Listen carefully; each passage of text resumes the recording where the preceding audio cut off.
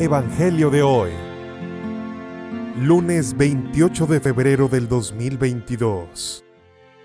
Lectura del Santo Evangelio según San Marcos, capítulo 10, versículos del 17 al 27.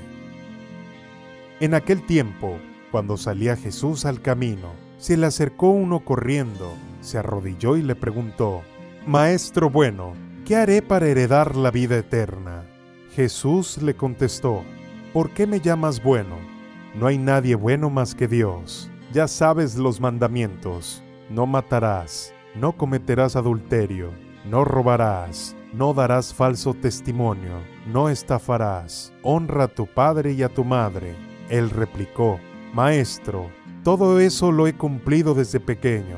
Jesús se le quedó mirando con cariño y le dijo, Una cosa te falta, anda, vende lo que tienes, dale el dinero a los pobres, así tendrás un tesoro en el cielo y luego sígueme.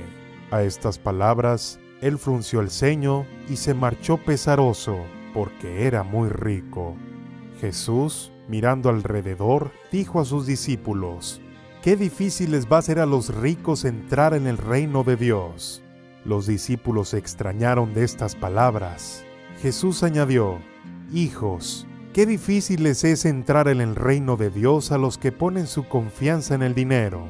Más fácil es a un camello pasar por el ojo de una aguja que a un rico entrar en el reino de Dios.